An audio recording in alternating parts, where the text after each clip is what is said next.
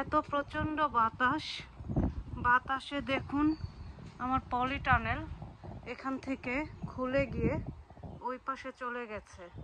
এখন আমি ঠিক বুঝতে পারছি না। আমার হাজবেন্ড না আসা পর্যন্ত আমি কিছুই করতে পারব না। কখন আসবে ও? সব পড়ে গেছে, ভেঙে চুরে বাগানের অবস্থা একদম বাজে হয়ে গেছে।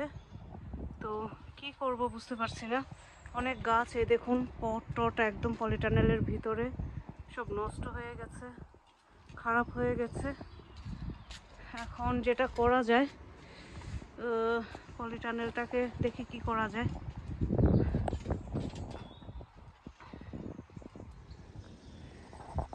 এই যে দেখুন, সামারের বাগান আর উইন্টারের বাগান। সামারের বাগানে একটিমাত্র গাছ বেঁচে আছে, সেটা হচ্ছে জেসমিন। আর এখানে এই যে সব পটে পটে গাছ ছিল, এই কর্নারে রেস বেডের গাছ ছিল, সেগুলোকে আমি ক্লিন করেছিলাম। এখন হচ্ছে জানুয়ারি, জানুয়ারির আজকে বাইশ তারিখ। পলিটানেল বাতাসে উড়িয়ে নিয়ে গিয়েছে। দেখুন কত বড় একটা দুর্ঘটনা। এই পলিটানেলটা উড়িয়ে অন্য কোথাও নিয়ে যেতে পারতো।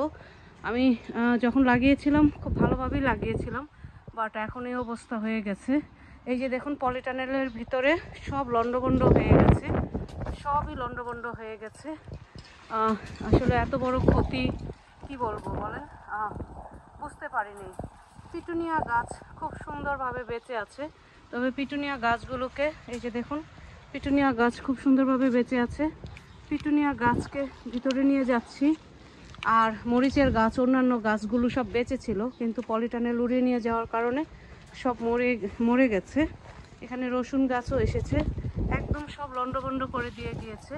দেখুন, উইন্টারে কলা গাছ। কলা গাছ একেবারেই নষ্ট হয়ে গেছে। কে বলতো, এই কলা গাছটা এখানে কত তাজা ছিল। তো এ হচ্ছে আমার উইন্টারে বাগানের অবস্থা। খুবই খারাপ অবস্থা। আজকে সারাদিন বাতাস। আমি জানি না এই পলিটানেলকে কীভাবে কি করব। আমার হাজব্যান্ড আসবে রাতে। তো যাই হোক, চেষ্টা করব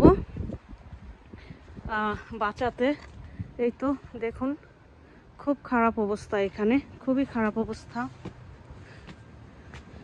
তো ভাবছি এই পিটুনিয়াগুলোকে, এই যে এখানে ছোট একটা গ্রিন হাউস আছে, সেই গ্রিন হাউসে রাখার জন্য রাখতে।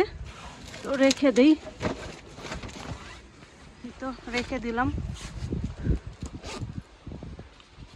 যেহেতু পিটুনিয়া গাছ বেঁচে আছে সো ওইগুলোকে আর না না মারি। এক হাতে আসলে ভিডিও করা, তারপর বাগানের কাজ করা খুব ডিফিকাল্ট তো রেখে দিয়েছি পিটুনিয়া এর ভেতরেই। আর এই যে আবারও দেখাচ্ছি, দেখুন, খুবই খারাপ অবস্থা। আবারও আপডেট দেব আজকের মতো এ পর্যন্তই। সবাই ভালো থাকবেন এবং সুস্থ থাকবেন। ধন্যবাদ।